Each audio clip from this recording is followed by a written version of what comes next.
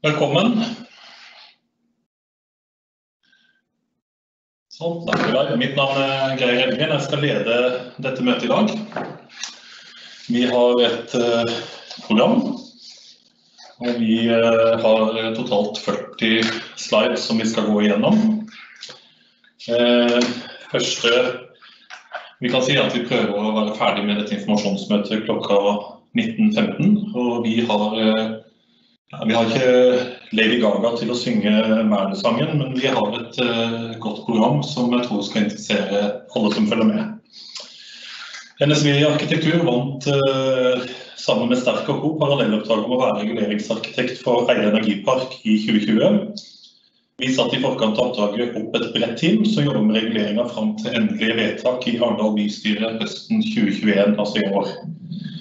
Om tomta kan vi litt. Eh, Arendal Eiendom eier området som blir Eide energipark.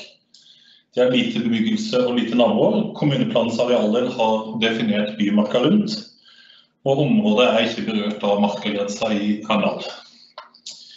Eh, planlegging for vei fra Eide energipark er et eget prosjekt som ble igangsatt onsdag 13.1, altså for en uke siden. Og Frist for innspill til planprogrammet er 26.2 i år. Og Det er da ikke en del av dette møtet. Ehm, så skal jeg ta og begynne å kjøre gjennom eh, innholdet her.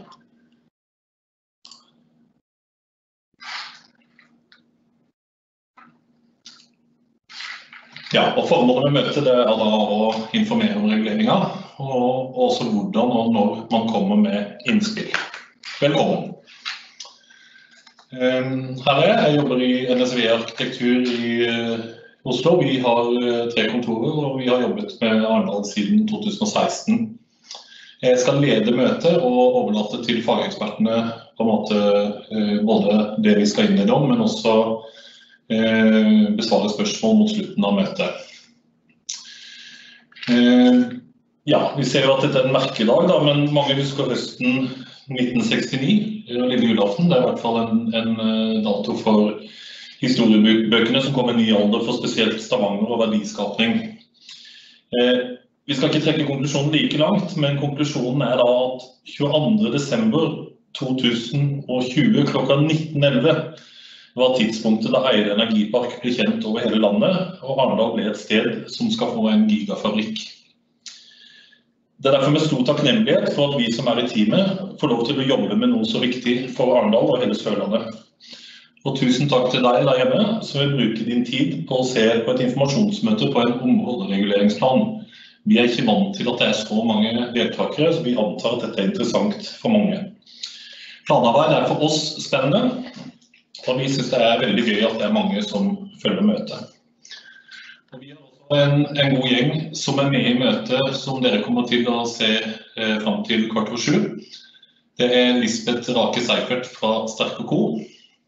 De holder da til eh, eh midt i bollen eh, i Arendal og har eh, nesten 100 års erfaring med, med, det som vi skal snakke om i dag. Så er det min kollega Thomas Berge Andersen, som har jobbet mye med Arendalsprosjekter som er arkitekt. Så er det fra Arendal Eiendom så er det Petter Tobiassen og Torstein Olsen. Eh, fra Arendal kommune så er det Barbro Olsen. Og så er næringssjef i Arendal kommune skal eh, forkynne budskapet om, om, hva som ligger bak dette vedtaket om at Eide energipark og vi får en etablering av en, en stor industriaktør i Arendal. Hva er en områderegulering?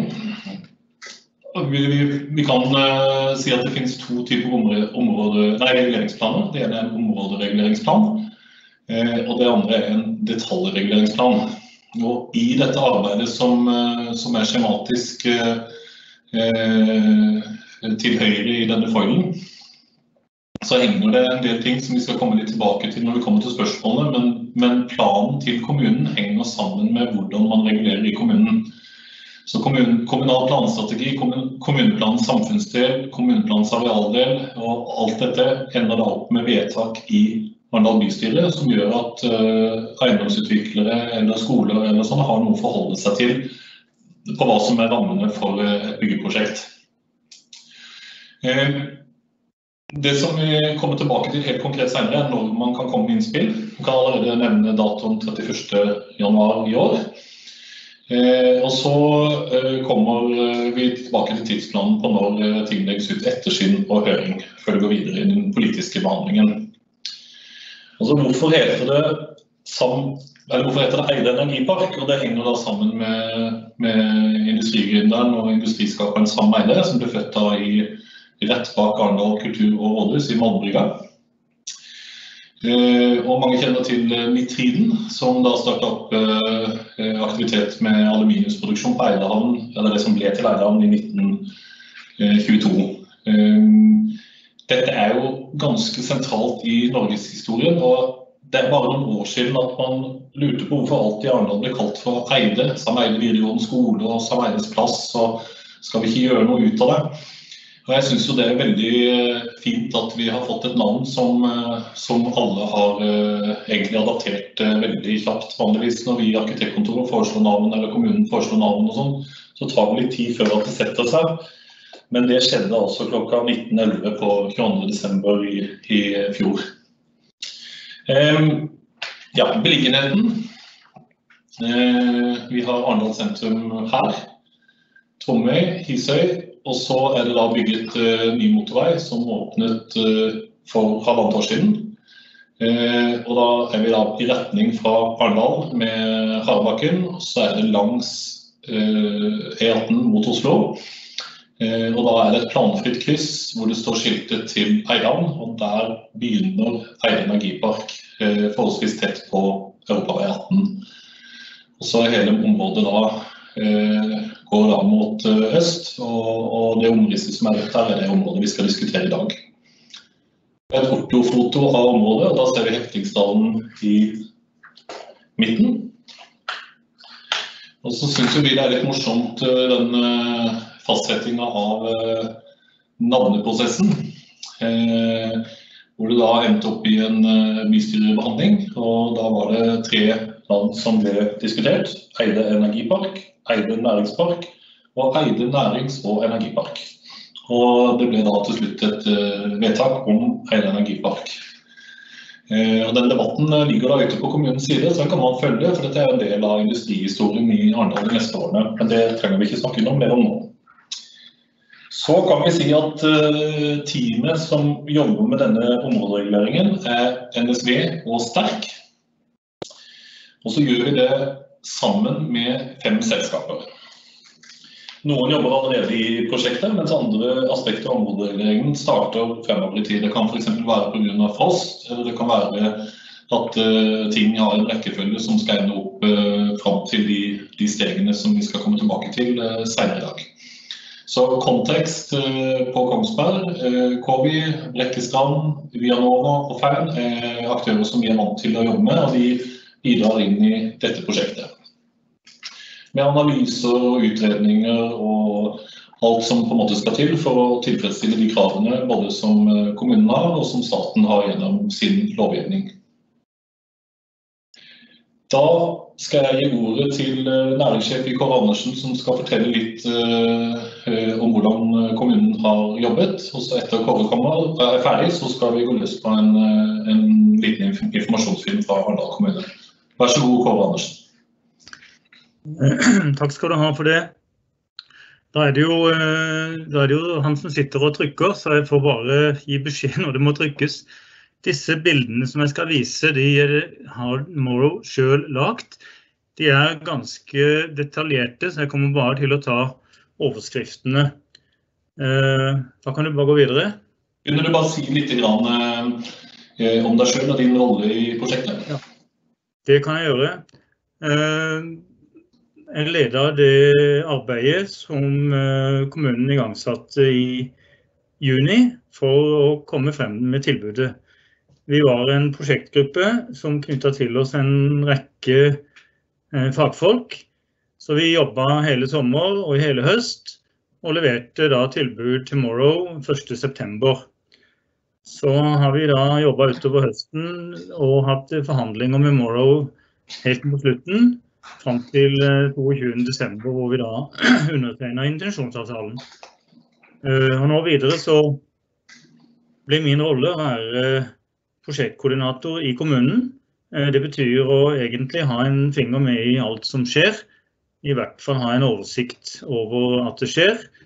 Og så har vi nedsatt en administrativ styringsgruppe som rådmannen skal lede. Så vi rigger oss nå godt for å legge til rette for denne etableringen av Morrow. Tusen takk. Da går det til slide nummer to, og så hører jeg på deg når du er, er ferdig med hver slide sånn cirka, og så får du korrigere meg. Ja, dette er eh, som sagt er det slides som Morrow selv har lagt. Morrow de eies av eh, fire store eiere. Det ene er da Agder Energi, som eier 39 Så er det Bjørn Tore Gjelsten, som gjennom sitt selskap NOAH eier 40% Så er eh, Bellona inne med 4 gjennom sitt selskap eh, Beba. Og så er det ledelse i Morrow eh, som har 17% Så Dette er eiersitsen i Morrow. Og som dere ser til høyre, så er det en rekke industrielle partnere. Nå gikk det feil vei. Neste bilde. Eh, dette bildet viser egentlig bare at eh, batterier er helt kritisk for å løse klimakrisen.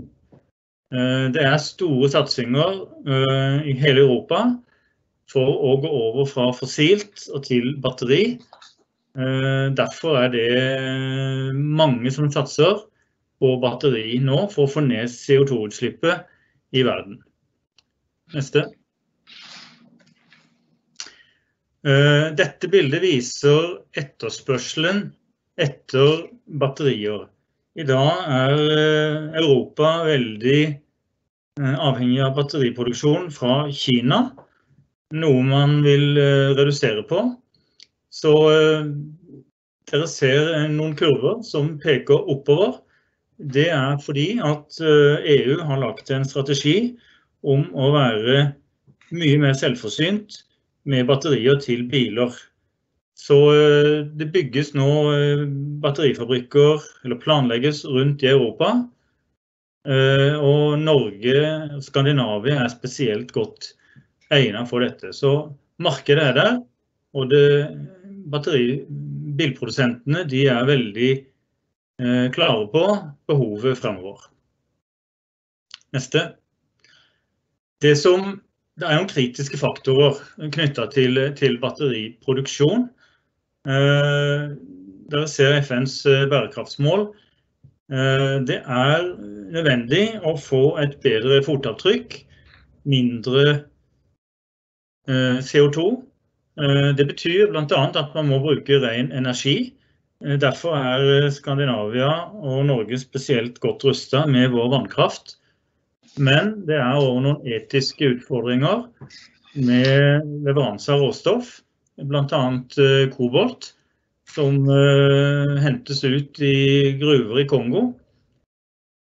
Dette jobber bransjen veldig med for å få erstatta den type metaller med nye metaller. Så det foregår en veldig stor utvikling av batteriteknologi og der vil Morrow være i front.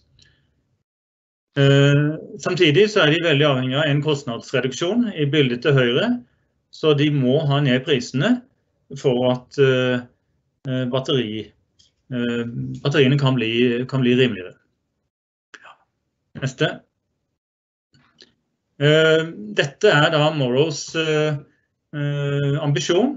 De skal bygge, som det står i overskriften, en gigafabrikk i Sør-Norge som skal utvikle neste generasjons batteriteknologi.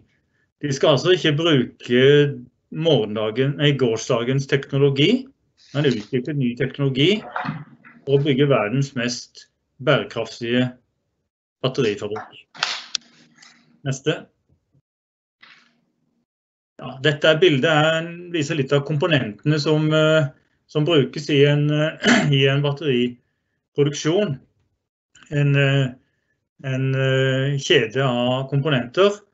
Så det handler veldig mye om å bruke ren energi.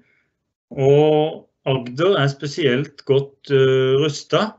Vi har det største energioverskuddet i Norge. Derfor har, vi, har, man valgt å definere oss som Electric Region Norway.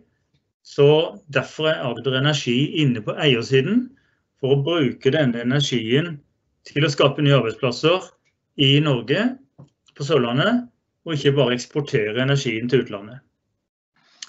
Neste. Eh, dette er eh, veien fremover som Morrow har skissert. De begynte da eh, i 2020 med, med tilbud ut til kommunene. Det var jo 19 som leverte inn sine konsepter. De beslutta da før jul å legge det til Arendal. Nå i 2021 så jobber de med å kommersialisere. De jobber med finansiering og utvikling av teknologi.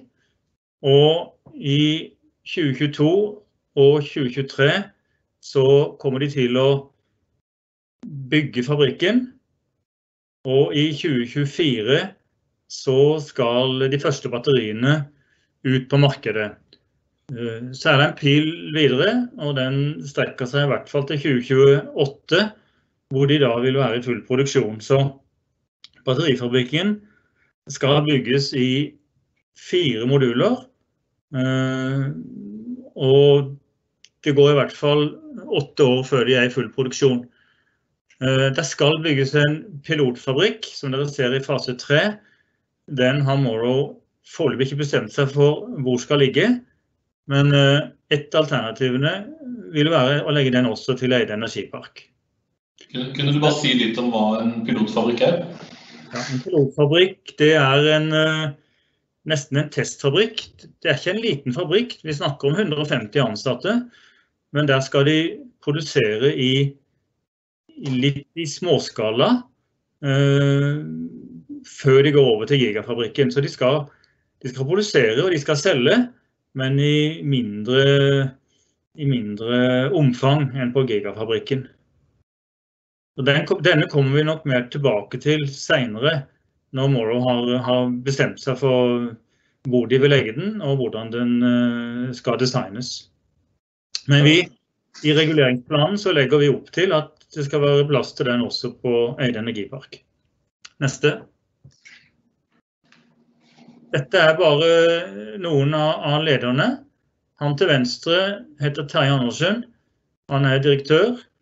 Han holdt i dag et eh, innlegg i Arendal bystyre om batterifabrikken. Samme innlegget holdt han på en stor konferanse i Pareto i dag. Hvis dere går inn i bystyrets uh, opptak av film fra dagens bystyremøte, så vil dere høre et foredrag som han holdt på ca. 30 minutter, som forklarer litt mer detaljert eh, hva de holder på med, og hvorfor de valgte å etablere seg i Arendal. Ja, neste. Dette er de kriteriene som Morrow la til grunn, som vi fikk da i, i juni. De skulle ha et uh, tomteareal på 500 700 dekar. Eh, de skulle se på tomtas egnethet, altså hva slags topografi. Eh, de skulle se på hvordan lå det an med reguleringer, hva faktisk reguleringsstatus. De var veldig opptatt av alt med miljø og økologi rundt, eh, rundt tomta. Tilgjengelig kraft er helt avgjørende. Og har vært kanskje det viktigste momentet for hvorfor vi vant. Vi skal hente kraft helt fra Bøylestad i, i trasé og ned til energi til fabrikken. Eh, vann for kjøling er kjempeviktig. Vi eh, skisserte to alternativer. Og eh, enten hente ferskvann fra Longum eller saltvann fra Tromøysund. Og det ble det siste, så det skal kjøle, komme kjølevann helt fra Tromøysund.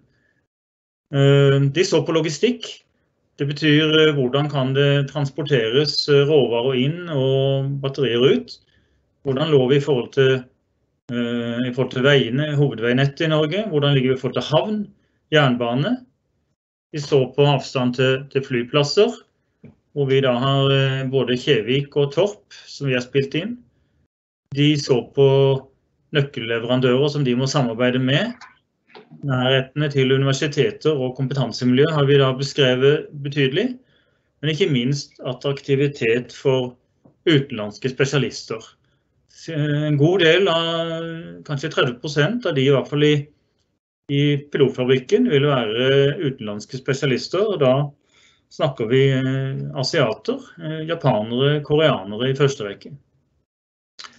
Og de skisserte da i juni en beslutningsprosess hvor de henta inn informasjon fra kandidatene. Det var da 19 forskjellige. Eh, og det gikk før til, til forhandlinger, og så en beslutning da 22.12. Så det er eh, den prosessen vi har, eh, vi har bak oss. Jeg kan jo også si at når dette møtet i dag dreier seg om områderegulering.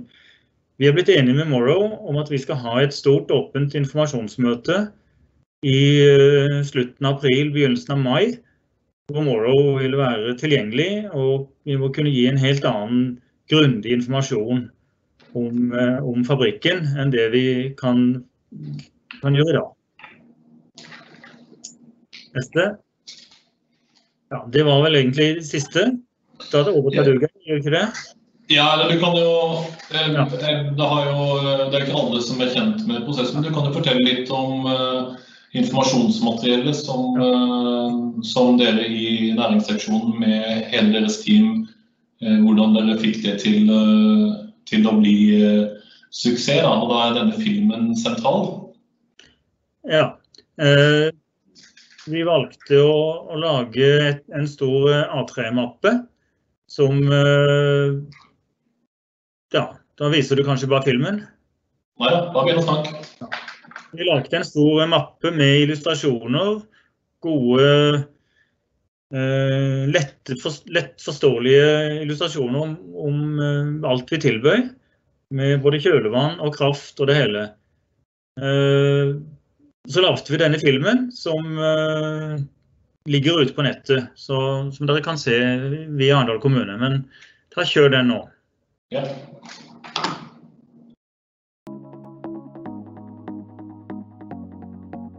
For over 100 år siden startet Norges største industrieventyr med Sam Eide. Nettopp her i Arendal. Nå kan Eidehavn og Eide energipark bli sentrum for en ny, banebrytende og bærekraftig industrisatsing. Arendal tilbyr en tomt som er planert og klar for bygging. Vi har tilgang på kraften batterifabrikken trenger, store vannmengder til kjøling og ikke minst nærhet til en solid og fleksibel havn. På Eidehavn er det ledige arealer som kan brukes som råvare- og ferdigvarelager. Eide energipark ligger ved E18 og har et ferdigplanert område på 100 dekar, med mulighet for utvidelse til totalt 875. Helle næringsområde ligger like ved veitraseen til havna og gir ytterligere fleksibilitet. Her vil bærekraftige synergier kunne skapes ved at overskuddsvarme brukes av blågrønne næringer. Eide energipark har kort vei til Kristiansand og grenlandsområdet, og er nær to flyplasser og jernbane. Med ny vei til Eidehavn er havnetilgang bare fem kilometer unna. Tomten er fleksibel og gir mange muligheter for Morrow og for partnere som ønsker å knytte seg til den nye fabrikken. Her er det kort vei til globale markeder og alt ligger til rette for å skape verdens mest bærekraftige batterifabrikk. Byen har et næringsliv preget av bedrifter med et globalt marked og internasjonal kompetanse. Gard ble etablert i Arendal i 1907. Vi har utvikla oss eh, fra et lite lokalt selskap til en global leder innenfor eh, vår nisje, maritim forsikring. Grunnen til at vi har gjort det, er at Arendal samtidig har utvikla seg til en veldig internasjonal by med et uh, sterkt internasjonalt nettverk for våre medarbeidere som vi rekrutterer både fra Asia og Amerika. De kommer hit, og de trives her. De opplever andre kommuner som et uh, imøtekommende vertskap. Uh, genuint interessert i hva vi holder på med. Uh, der vi har ulike fora for å diskutere løsninger og innspill for å utvikle næringslivet videre. Uh, vi er jo et internasjonalt selskap, NOA APL, og vi har tilreisende fra utlandet og kunder osv. Den internasjonale skolen er jo et eksempel på veldig god tilrettelegging. Arendal er sentralt plassert i Norges viktigste industriregion. Innenfor en reisetid på 75 minutter er det 362 000 innbyggere og 172 000 sysselsatte. Grenland er bare en time unna. Byens boligpriser er rimelige, og nye bolig- og leilighetsprosjekter vil gi flere moderne og sentrumsnære boområder. Jeg er veldig stolt av å jobbe i et konsern som uh, videreutvikler det som Sameide starta på Eidehavn. Uh, som vertskapsby så stiller Arendal opp. Vi inviterer internasjonale gjester hit til faglig påfyll. Og første gang de kommer hit, så blir vi imponert over at prosessindustri kan ligge i sånne idylliske omgivelser. Da kommenterer de gjerne det er ikke rart bærekraft er viktig for oss. Jeg vil gjerne også ha flere teknologiske bedrifter hit så jeg håper vi får morgen. Arendal kommune skårer høyt på næringsvennlighet og var den første klimanøytrale kommunen i landet. Med bred oppslutning lokalt vil vi bidra til å skape klyngen Morrow trenger. Arendal kommune har eh, utforma et eh, godt tilbud som viser at vi vil være partner til eh, Morrow. Dette har vi gjort sammen med Arendal havn, Arendal eiendom og Næringsforeninga i Arendal. Sammen så kommer vi til å skape verdens mest bærekraftige batterifabrikk. Hjertelig velkommen til Arendal.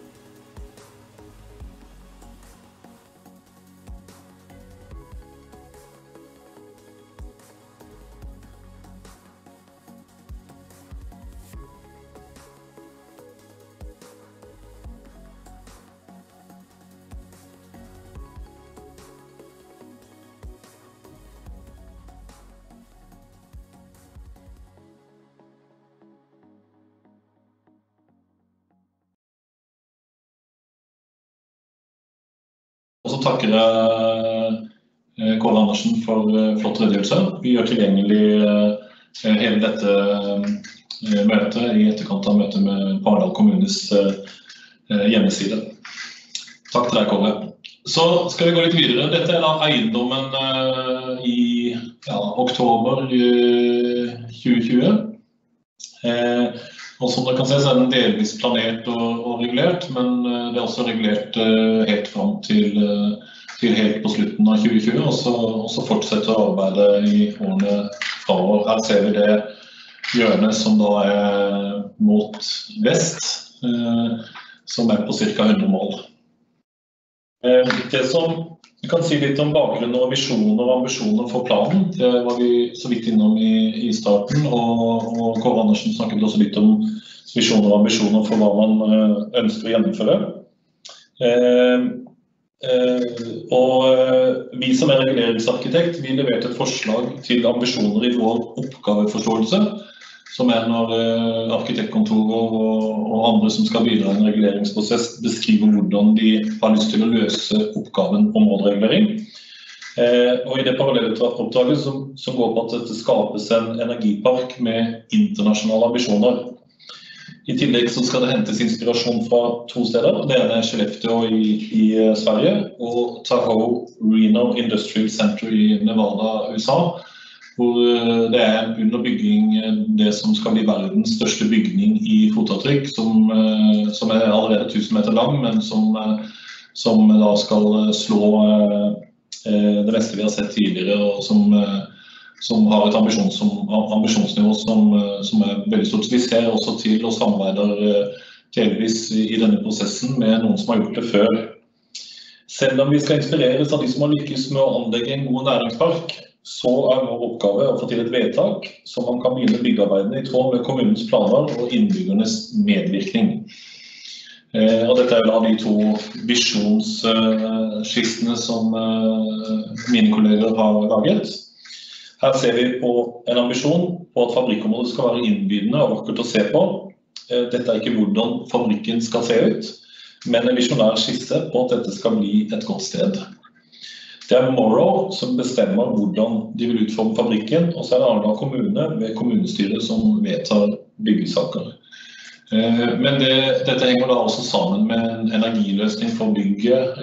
Hvordan den berører naturen rundt, hvordan det skal være for, for alle ansatte som, som jobber der. Fugl og fauna osv. er en del av det vi har jobbet med i visjonen. Og også inn mot et overordnet begrep på bærekraft. Så skal vi bare si litt fra Eh, ringvirkningene for Sørlandet også litt sånn sammenligning, fordi det er også viktig i forhold til dimensjoneringen av dette området. Eh, og Gigafactory 1 i Nevada eh, ble påbegynt i juni 2014 og er fremdeles en oppføring. Fabrikken sysselsatte 7000 årsverk i 2018, og de fleste er lokalt ansatte. Det kan være ufaglærte eller kompetanse som er lokalt. Eh, men nærmeste by i nærheten der, eh, Reno, har jo mest vært kjent for å være en kasinoby. Så det, er mange muligheter i det som de har fått til der, eh, med robotisering, operatører, logistikktjenester osv. Og så er det dette med ringvirkninger. og Der har jo vi, de som har jobbet mer med fabrikk tilbake i tid hos oss, og, og hvordan på en måte ringvirkningene er, så er det litt forskjellig hva man regner som ringvirkninger av antall årsverk. Men i hvert fall eh, helt lokalt i Arendal så har eh, regiondirektøren for NHO, som pleier å ha ganske god oversikt, eh, snakket om at det kan generere tre ganger så mange arbeidsplasser i, i alt det rundt med leverandører av varer og tjenester som er resepsjonisten og taxisjåføren og lokale Kiwi-butikken osv. Så, så Så vi tror nok at dette er et ganske edruelig anslag fra, fra NHO. Så er jo Arendal ledet av ordfører Robert Nordli, og han sier etableringen vil ikke gi en umiddelbar befolkningseffekt, men en gradvis utvikling i takt med utbyggingen. Hele Arendalsregionen må regne med en større befolkningsvekst enn hva vi ellers ville hatt.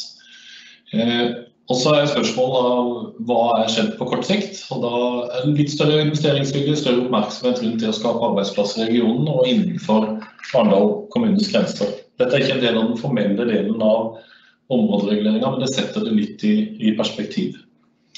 Da skal jeg ønske velkommen eh, ekspert i dette møtet. Skal vi se om vi har fått kontakt med Lisbeth Seifert i Sterk. Er du der, Lisbeth? Hei sann, jeg er her. Håper dere hører meg godt. Vi hører og ser deg godt. Velkommen. Takk. Da kan jeg bare starte med eh, en kort presentasjon av meg selv. Jeg er arealplanlegger, eh, jobber i Sterk og Co. Eh, og jeg er prosjektleder i Sterk for den områdeplanen her.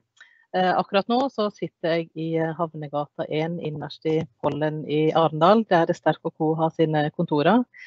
Og jeg skal jo da si litt om reguleringsplanen vi er i gang med, litt om planprosessen, framdrift og muligheten for å komme med, med merknader til planen.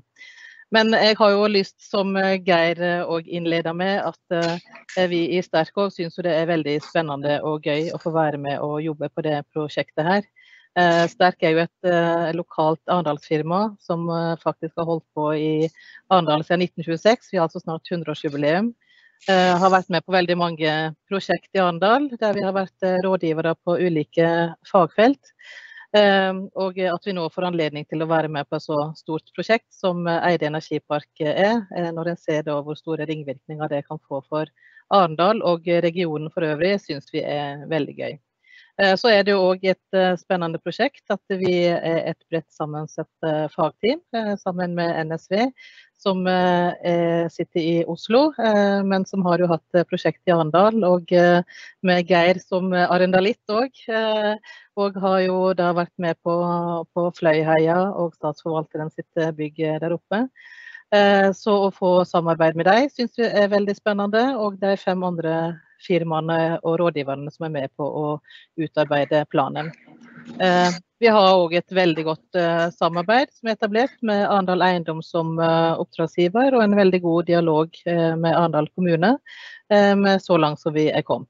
Så sammen så håper vi at vi skal lage en god plan som tilfredsstiller de behov som Morrow har, eh, eventuelt andre næringslivsaktører som kanskje kan etablere seg innenfor det store området på 1000 dekar som vi faktisk skal lage områdeplan for. I tillegg så er selvsagt en veldig viktig del av reguleringsplanprosessen det å lage grundige analyser og utredninger for å se på hvilke konsekvenser planen får for ulike temaer. Så eh, Som det viser nå, eh, så er jo den formelle oppstarten av eh, områdereguleringsplanen det er jo det Arendal bystyre som har fatta i møtet som de hadde 24.9. Det var samme møte der det ble eh, bestemt at eh, området skulle hete Eide energipark. Eh, og som det står som er fra vedtaket, så ønsket jo da Arendal bystyre at en skulle sette i gang med en områdeplan for å kunne gjøre tilgjengelig 500-700 dekar for industri så raskt som mulig. Eh, det er jo òg viktig den siste setninga, at det er en områdeplan. Det er et stort område, men det skal være mulighet for å eh, bygge uten detaljplan. Altså det er direkte utbyggingshjemmel, noe som er mulig i en detaljplan. Eh, og formålet, reguleringsformålet for planen er jo da i utgangspunktet industriformål. Så da skal jeg si litt om eh, hva vi har gjort fram til nå, og hvor vi er i planprosessen. Så da kan du ta neste, Geir. Eh, som Geir sa, NSV og Sterk vant til oppdraget med å utarbeide reguleringsplan i slutten av oktober i fjor, og vi gikk jo da ganske umiddelbart i gang med arbeidet. Eh, og det første formelle som en gjør, det er å avholde et oppstartsmøte med planavdelinga i Arendal kommune. Det hadde vi den 2. desember i fjor. Eh, og oppstartsmøtet er et krav om etter plan av bygningsloven for alle reguleringsplaner. Eh, og da har vi jo dialog med egentlig administrasjonen, men direkte så er møte med planavdelingen i Arendal kommune. Så har vi utarbeida kunngjøringsdokumentene, og den 11. desember i fjor kunngjorde vi oppstart av områdeplan. Og Geir har jo vist tidligere det området som vi har starta oppstart av planarbeid for. Det er 1000 dekar ligger på hver side av Heftingsdalen renovasjonsanlegg. Eh, halvparten av området er alt eh, regulert, men det er likevel med i områdeplanen. Eh, da vi skal se på det totalt. Men slik som det ligger regulert i reguleringsplanen for Agderparken øst med næringsformål, det, det blir jo sånn sett videreført, men eventuelt med noen justeringer. Og så er det da det området mot eh, øst eh, som ikke har vært regulert fra før. Eh, og det er der som vi skal gjøre ekstra konsekvensutredninger. For det er òg gjort da konsekvensutredninger på områdene i vest alt når vi kunngjorde oppstart. Eh, måten det blir gjort på, det blir altså sendt ut eh, brev og e-poster til eh, naboer, grunneiere og offentlige instanser. Aktuelle lag og foreninger har fått varsel om oppstart. Og det er lagt ut på hjemmesiden til Arendal kommune. Der finner alle f.eks. planprogram og kunngjøringsbrev og kart over området. Ligger også på Sterk og Co sin hjemmeside og annonsert i Agderposten. Og det her er jo da en plan i og med at det er jo uh, Morrow sin etablering, som er utgangspunktet for reguleringen. Uh, så, så, det skal jo være et godt kjent at den er i gang med en planprosess uh, her. Vi varsla òg da om at det skulle avholdes informasjonsmøte nå i, i januar. Og Reguleringsplanen for Eide energipark den vil jo da legge til rette for så store tiltak i forhold til bygningsmasse og tiltak som skal etableres, at det utløser krav om konsekvensutredning.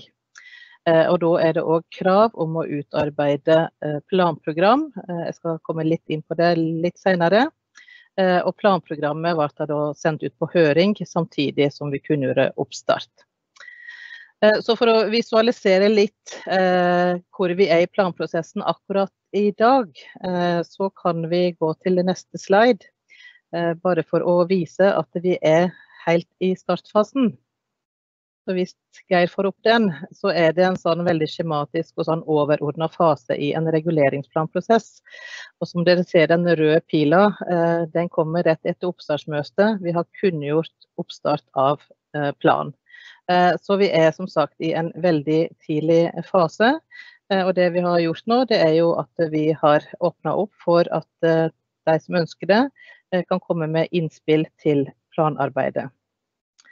Eh, for å gå til neste, bare litt mer detaljert egentlig den samme sliden, men der en viser det litt mer i detalj, Geir. Så hvis du går til neste. Så er vi da som sagt i planoppstartsfasen, helt i den første boksen. Så det som er prosessen videre, det er at etter at fristen for å komme med merknader til kunngjøring og høring av planprogrammet ute, og fristen er som sagt 31.1, så vi skal repetere enda en gang på slutten her. Så blir det første vi gjør etter det, det er at en går gjennom alle innspill, ser på om det er noen innspill til selve planprogrammet som en vil imøtekomme. Og da reviderer vi eventuelt planprogrammet før en sender det inn til kommunen for å fastsette det. Det er det kommuneplanutvalget som gjør. Så går vi egentlig i gang med selve planarbeidet. Vi er jo litt i gang, men som sagt, vi er faktisk helt i en startfase. Men videre utover våren så skal jo da alle vi som er engasjert til å gjøre den reguleringsplanprosessen her, vi skal analysere og utrede innenfor sine fagtema. Det blir utarbeidet egne fagrapporter for mange av temaene.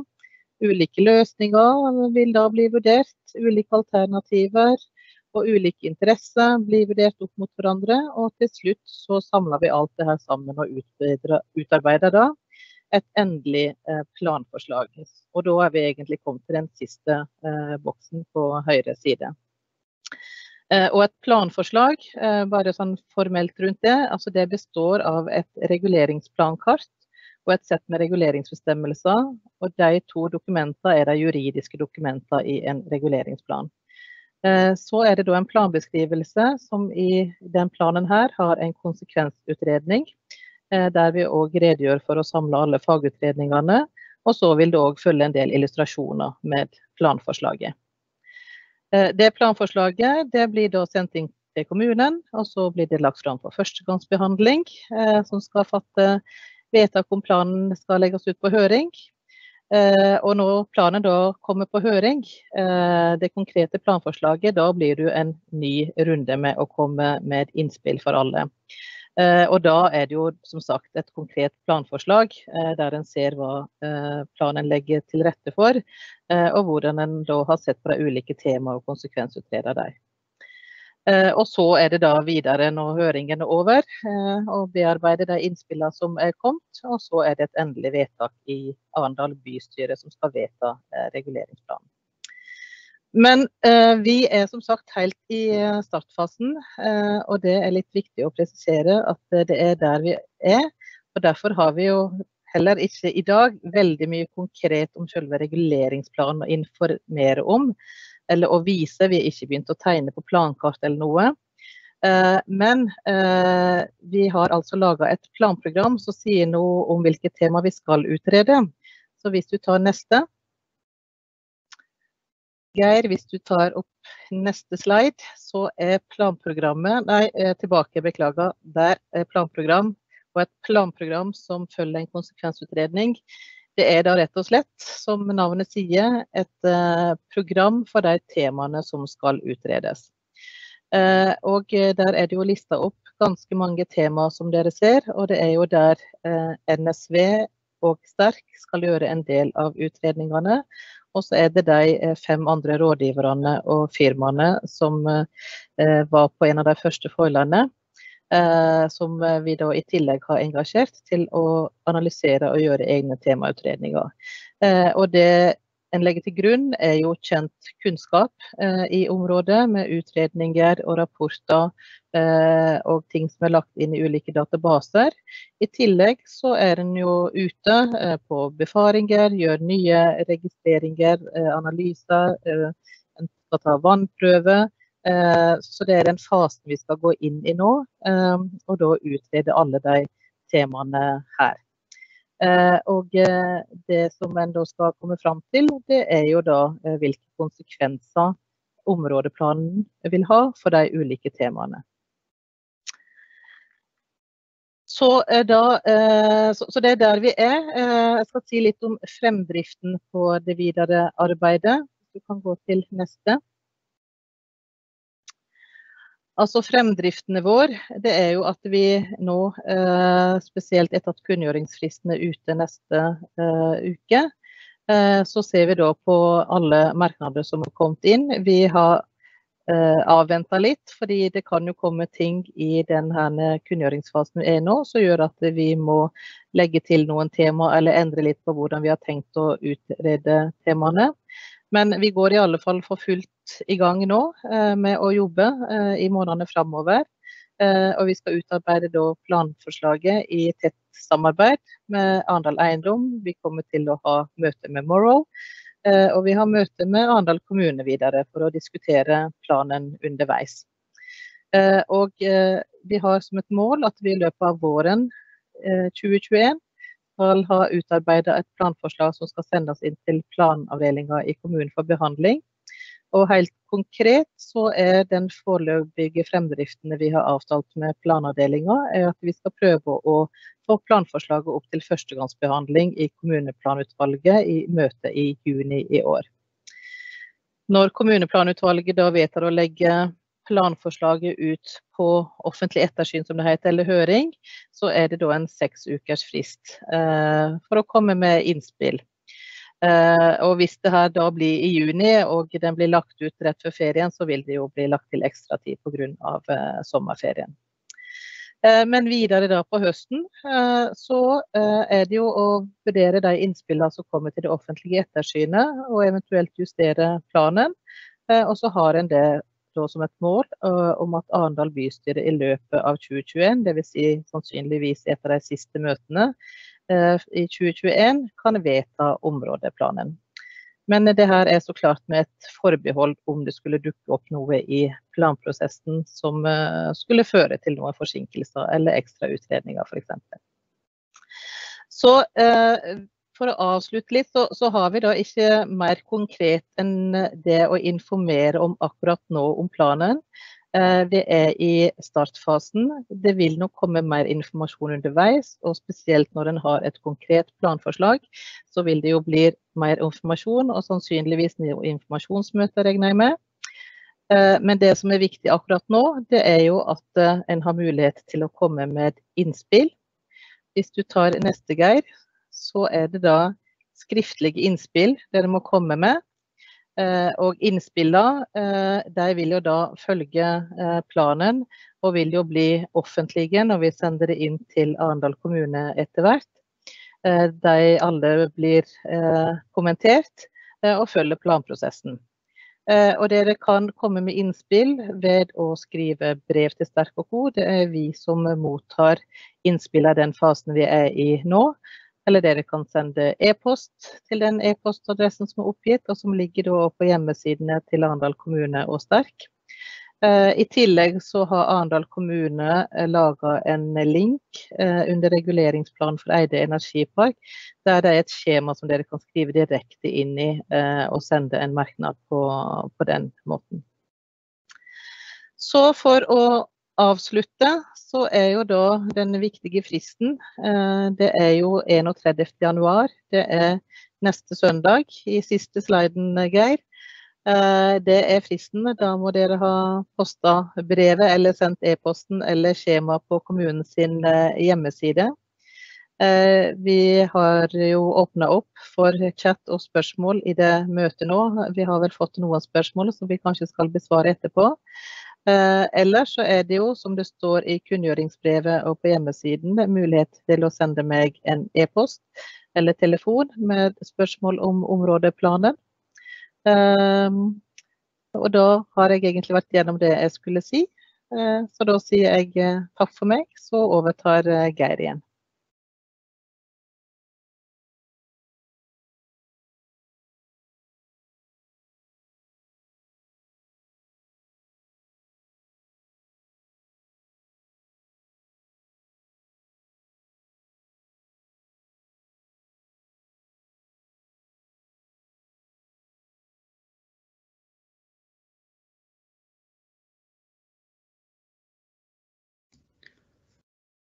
Du må ta på mikrofonen, Geir. Vi hører deg ikke.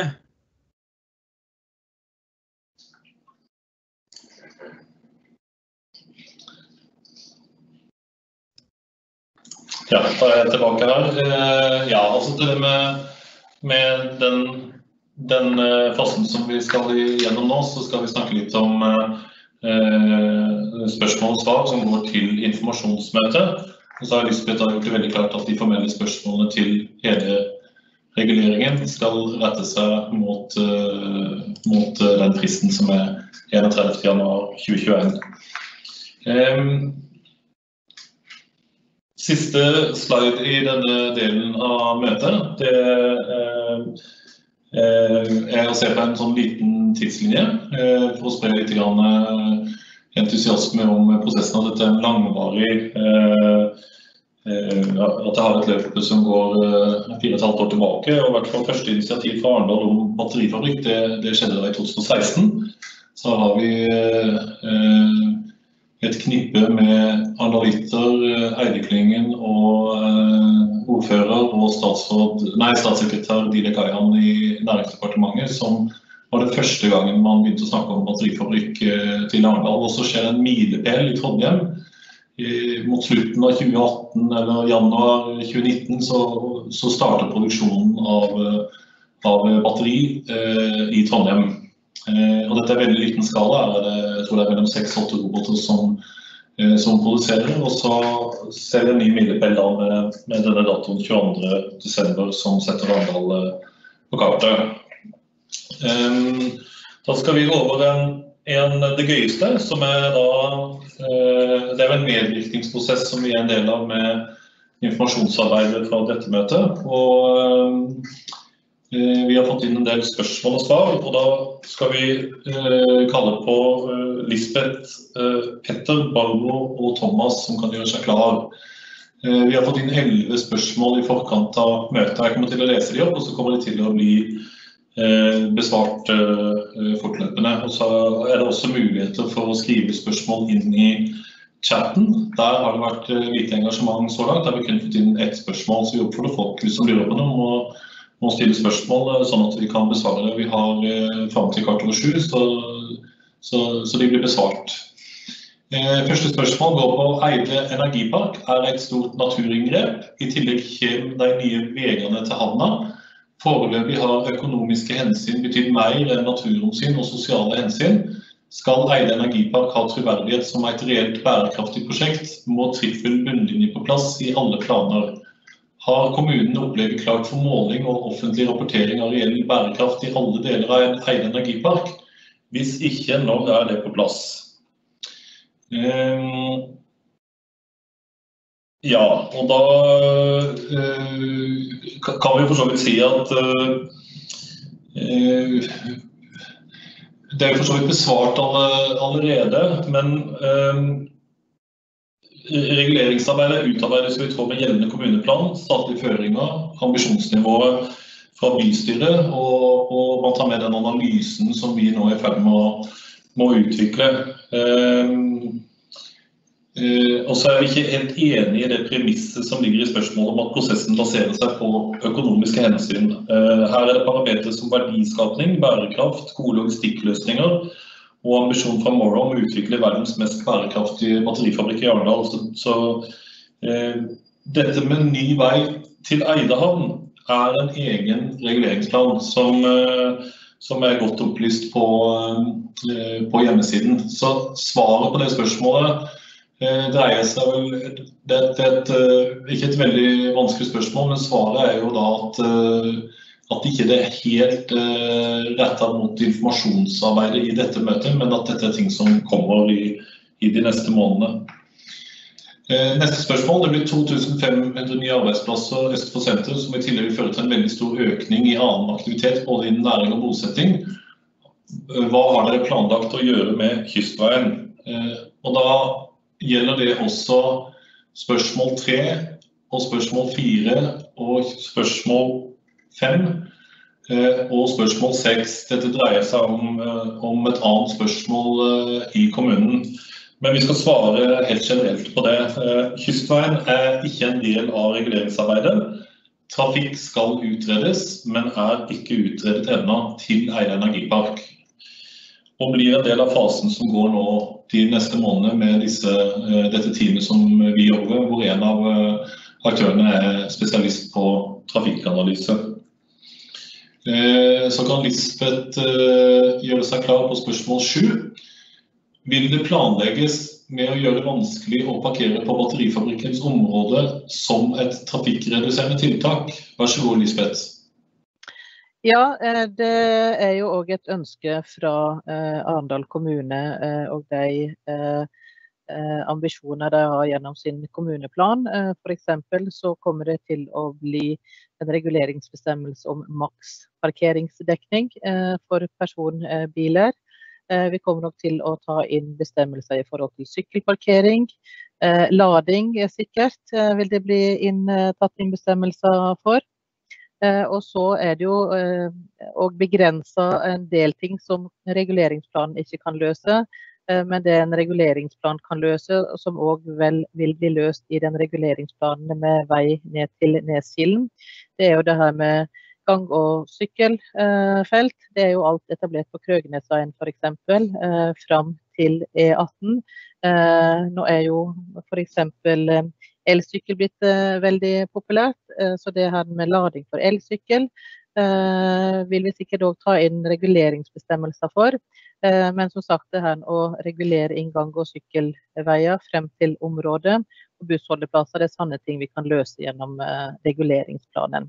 Men så blir det òg videre dialog med busselskap f.eks. For, for å, å, prøve å få flere ruter etter hvert, eh, som det blir flere og flere ansatte.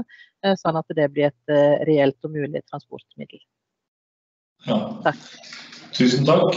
Så spørsmål nummer åtte. Vi har, vi har allerede Stoa næringsområde og Agder Innovasjon ved E18.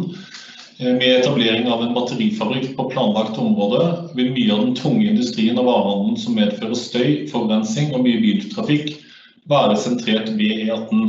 For meg virker dette veldig smart. Vil etableringen av batterifabrikk føre til at det planlegges for et fremtidig industri, og handelsparker også legges nær E18?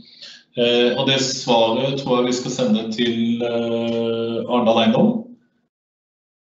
Peter eller Barbro, vil dere svare? Uh, ja, hei. Uh, Barbro Olsen her. Jeg kan uh, svare litt på det. Du jobber i eh, Arendal kommune? Ja, det stemmer. Eh, nå, er jo, eh, nå, er jo, dette med batterifabrikken at vi har fått den såpass eh, nytt at den har jo ikke kommet så langt i prosessen at den har gjort tanker om eh, nye strategier og utviklingsmønstre. Men eh, som et resultat av at vi har fått Eh, batterifabrikken, og, og, ser at de har både lokale ringvirkninger og regionale ringvirkninger, så er det planlagt å sette i gang allerede nå en uh, rullering av kommuneplanen, både samfunnsdel og arealdel, som jo er noe av kommunens overordna styringsverktøy for langsiktig utvikling. Eh, og, og, dette er typiske eh, spørsmål og innspill som, eh, som, vi vil ta med oss inn i et sånn rulleringsarbeid, og se på dette der. Tusen takk. Jeg lurer på om du skal svare på det neste år. Handel og næring slik som det nå er planlagt på His og på Krøgenes, vil gi økt biltrafikk gjennom sentrum og i sentrumsnære områder. I tillegg fører det til at etableringer av ny næring gjøres på bekostning av sentrum. Arendal har satt seg som mål å få et levende sentrum, og at all økning i trafikk skal være innen kollektivtransport og annen grønn mobilitet, som å sykle eller gå. For å oppnå dette må sentrumsvennlig næring legges til sentrum, og bilkrevende handel og industri legges ved E18. Vil en etablering av batterifabrikk ha så stor samfunnsmessig påvirkning at det også er nødvendig å revurdere lokasjon av annen industri og næring som allerede er planlagt, men ikke bygget. Det var et litt langt spørsmål, men du får svare så godt du kan, eh, mm. Lisbeth. Nei, eh, beklager, Barbro. Beklager.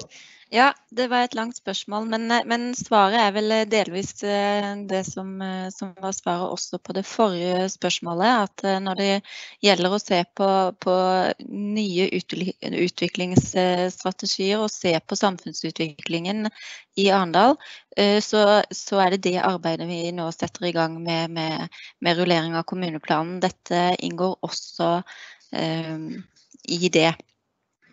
Så, så, innspill og det å følge med på kommuneplanen, er det bedre sted å, å stille de overordna føringene, er det du sier? Ja, det er kommuneplanen vår som er verktøyet vårt for å legge den langsiktige utviklingsstrategien. Så, så, dette er gode innspill som vi ikke har svar på akkurat per i dag, men som vi tar med inn i det arbeidet som starter ganske umiddelbart. Veldig bra. Da gir jeg ordet til Thomas, som kan svare på spørsmål nummer ti. Eh, Thomas, er du med? Jeg er med. Ja.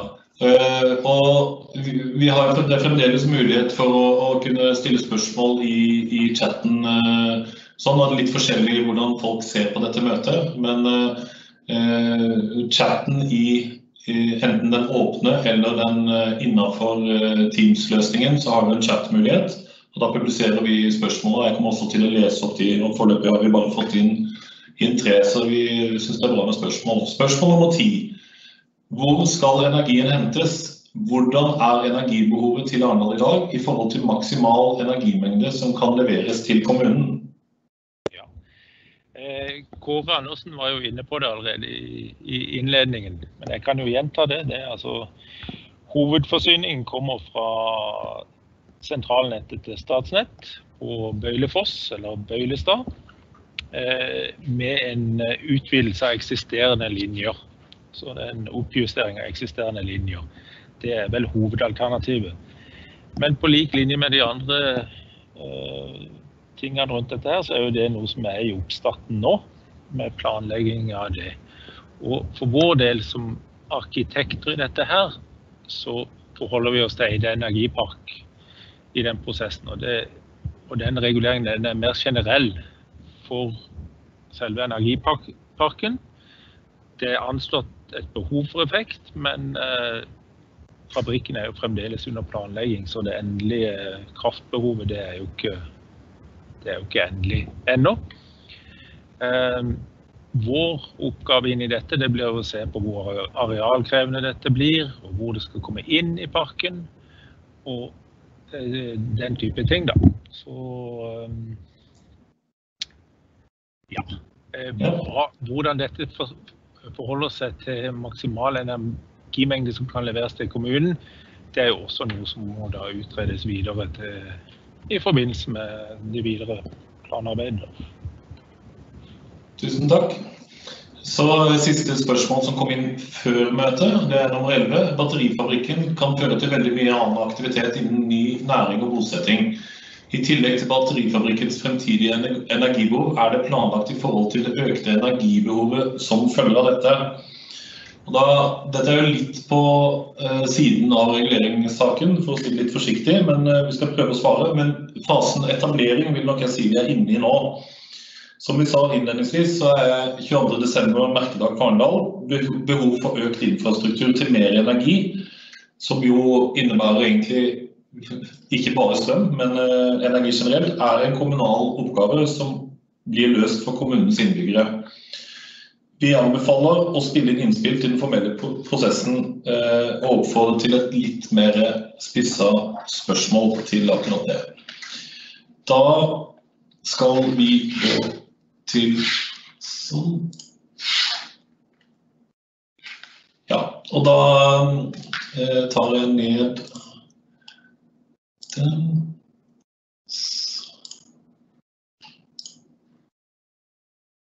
Sånn. Da skal vi ta, ta tre spørsmål eh, til der. Kan du gjøre deg klar, eh, Kåre Andersen?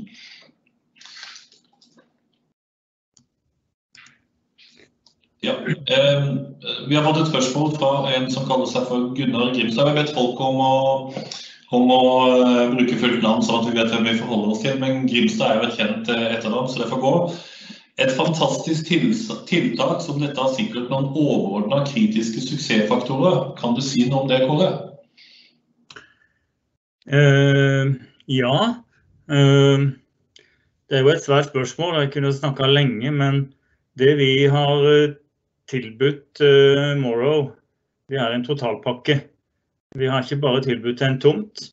Vi har tilbudt uh, at de kommer til en region uh, som tar vel imot dem.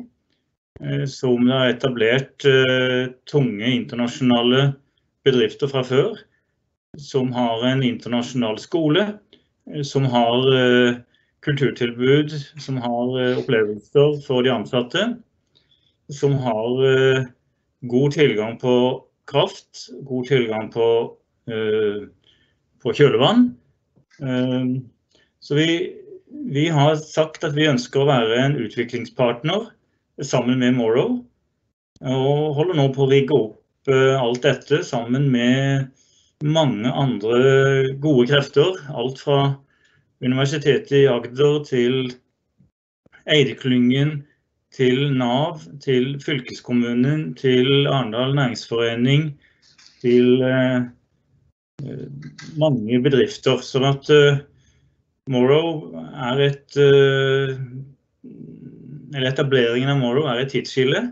Og det er det vi har fått frem i, i det tilbudet. Så hvis det var det du lurte på, så, så, er det det som vi mener har vært uh, suksessen for at de valgte Arendal.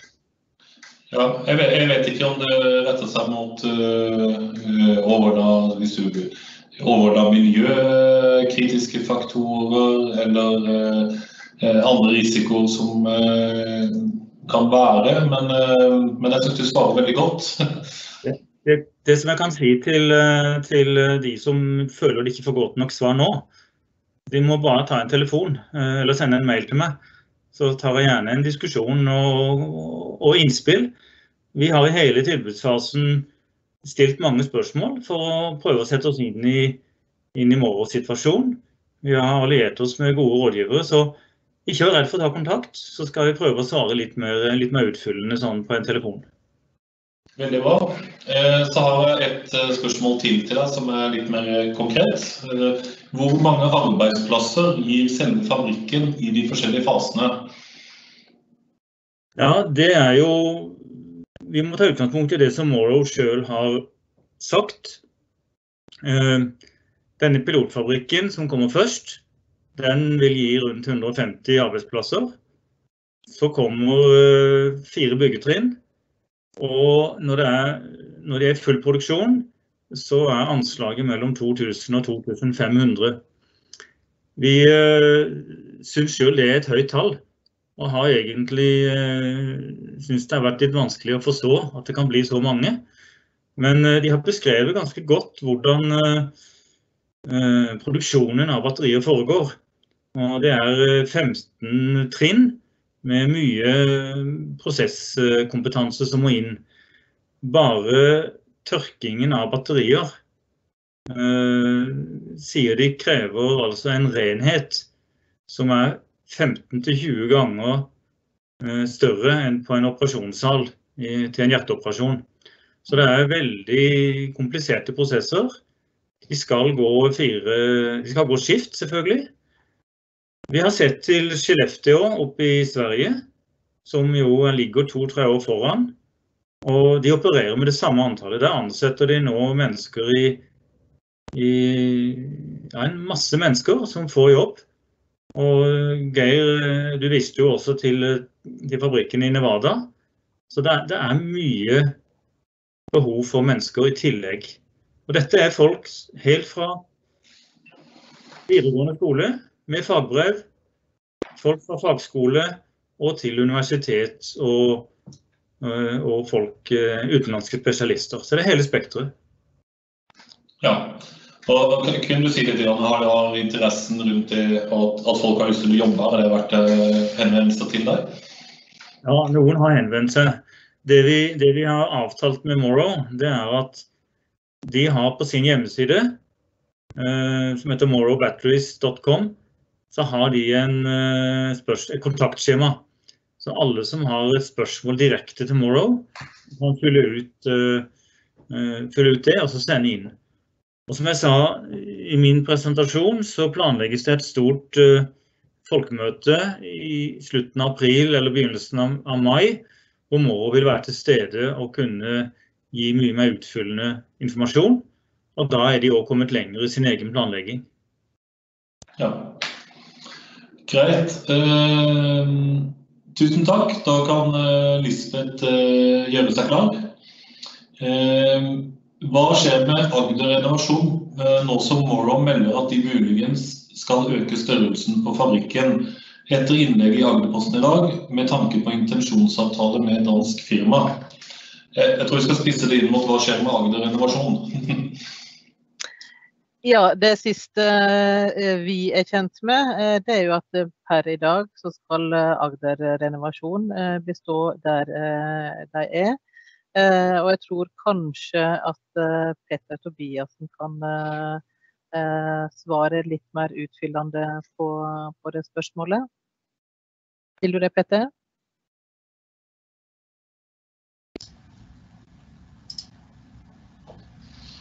Hei. Petter. Takk. Ja, altså sånn som det er per nå, så ser vi jo for oss at uh, Agder renovasjon skal være der de er. Uh, så vet jeg ikke om Kåre har noe å tilføye. Da får han si noe i så fall. Jeg kan jo bare, bare bekrefte det. Det er ingen uh, ingen konkrete planer om å flytte Agder Renovasjon. Vi har hatt eh, med Agder Renovasjon i hele arbeidet eh, med daglig leder, har vært med i prosjektgruppa. Vi har eh, solgt inn Agder Renovasjon som en, som en ressurs for, for Morrow. Det vil være behov for gjenvinning av batterier. Det vil være behov for en masse avfallshåndtering fra produksjonen. Så Vårt felles ambisjon det er å beholde Agder innovasjon. Eh, det som er helt sikkert, det er at deponiet Der ligger et deponi som uansett skulle avsluttes. Det må ligge der det ligger. Om det blir behov for å justere noe på bygningsmassen til Agder innovasjon, det er for tidlig å si, men målsettingen er å, å la det ligge som det ligger. Og bygge på begge sider med en forbindelsesvei imellom. Veldig bra. Mens jeg har deg, eh, Kåre, bare et kjapt spørsmål. Jeg vet at ikke du har alle svarene, men det er en som spør hvordan skal kjølevannet føres opp til fabrikken? Ja, Det er et veldig, veldig godt spørsmål. Eh, kjølevannet det, var, det ble diskutert med Morrow fra begynnelsen. Skal de ha saltvann eller ferskvann? Og de har bestemt seg for at det skal kjøles med saltvann. Så vi har eh, vi har presentert en løsning hvor man henter saltvann på ca. 50 meters dyp i Trommesund og fører det inn via eh, Saltrødbukta opp til eh, Torkjenn og videre opp til fabrikken. Eh, alt dette er, eh, skal planlegges i detalj. Det kommer helt sikkert informasjonsmøter også om det. Men eh, kommunens rolle blir å bygge og eie et eh, pumpeanlegg eh, fram til tomtegrense. Så er jo også planen at det vannet som kommer ut fra fabrikken, som da har noen grader varmere enn det som hentes inn, det kan jo brukes til noe fornuftig. Så vi planlegger da, eller vi setter i gang prosjekter for å utrede hva kan det brukes til. Eh, det kan f.eks. være gartneri, det kan være eh, oppdrett av fisk på land. Altså ting som trenger varmt vann.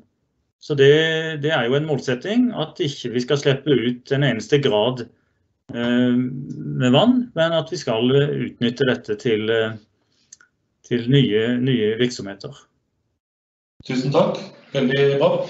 Eh, så har vi fått et spørsmål som eh, jeg kan besvare kjapt. Det er de områder som nå reguleres plass til pilotfabrikken, og svaret på det er ja. Eh, og så har vi fått et, en presisering til, til disse spørsmålene som berører kystveien. Beklager, men jeg fikk ikke helt med meg svaret deres vedrørende spørsmål om kystveien. Kan dere gjenta hvem som har ansvaret for dette? og hvor det vil bli utredet. Eh, altså, bare som presisering så er dette et møte om områderegulering på Eide energipark. Eh, så Kystveien skal ikke utredes i forhold til reguleringsspørsmålet eh, i, forbindelse med dette. Men trafikken til og fra eh, områderegulering, eller til området Eide energipark med forskjellige Eh, faser gjøres av Bionova, som koordineres av Lisbeth Isterk og co. Og helt overordna alle spørsmål som skal komme inn innen 31. januar, de skal sendes til Lisbeth i Sterk. Eh, og, og, det vil si at det er ett et, et sted du kan sende alle spørsmål, og, og så vil de forskjellige Noen av, av disse fagområdene som skal utredes, de vil jo spille litt gå litt over i hverandre, men det er Lisbeth i, Fristerk Sterk som, som, har den kontakten din på spørsmål. Så, så det er svaret der. Eh, et siste spørsmål som eh, vi kan gi til Lisbeth. Da får du siste svar, og da er vi utrolig nok i rute til klokka kvart over sju. Og vi har fått inn veldig mange gode spørsmål. Jeg har leda en del sånne møter som dette, og det er ingenting som er blitt sensurert. Og det er ingenting som, eh, som, som ikke har blitt besvart. Så tusen takk til alle som har sendt inn spørsmål. Blir det sett på det er Torbjørn Nilsen som spør, blir det sett på konsekvens for naboer som i stor grad blir påvirket gjennom plan- og byggearbeidet som skal gjennomføres for å få plass på fabrikken? Evaluering under sprenging, støy og forurensning f.eks. For og det, det spørsmålet foreslår jeg at du svarer på, Lisbeth, litt basert på erfaringer. Ja, eh, det vil bli utredet hvilke konsekvenser det får for eh, nærmiljø. Eh, det vil det altså her under beboere. Og det skal òg gjøres en støyvurdering som det er engasjert egne rådgivere på. Brekkåstrand skal gjøre det. Så det blir en del av analysen og reguleringsplanprosessen. Veldig bra. Da er det siste spørsmålet besvart allerede. Og så kom, har det kommet inn fra heter Geir. Vil Torkjem bli byttet ut til saltvann? Ja, jeg går ut fra det kanskje var til meg, da, siden det var meg som spilte inn Tokjenn. nei, det, det, skal ikke byttes ut til saltvann. Det skal gå ledninger uh, fra Saltrøybukta. Og uh, i tette ledninger via et pumpesystem en eller annen plass, antagelig rundt uh, og opp til, uh, opp til, batterifabrikken. Og Så står det tydelig i, uh, i avtalen, og det regner jeg med kommer inn i reguleringsplanen også, at Morrow, det som slippes ut igjen fra batterifabrikken, det skal være like rent som det som kommer inn. Så, eller ha samme standard som det som kommer inn. Så Tokjenn skal forbli eh, akkurat som den er nå. Det skal ikke slippes noen ting ut av kjølevannet i Tokjenn. I samme temperatur, eller blir det litt varmere badevann? Nei, jeg sier noe det skal ikke slippes ut noen ting i Tokjenn. Takk. Det, veldig, veldig bra. Ja. Da er vi faktisk kommet i mål eh, på skjemaet, så jeg takker alle som har eh, fulgt møtet. Det har vært en stor ære å, å lede dette møtet. Og så kommer Eh, hjemmesiden som, eh, som eh, ligger på Arendal, Arendal kommune sin samleside for dette. Det blir oppdatert fortløpende. og Enkleste måten å finne den er å skrive Eire energipark. Da kommer man rett til den. Så takker jeg alle som, som brukte torsdagskvelden på å, å, sitte på hjemmekontor og, og svare. Og så takker jeg for meg. Ha en fin kveld.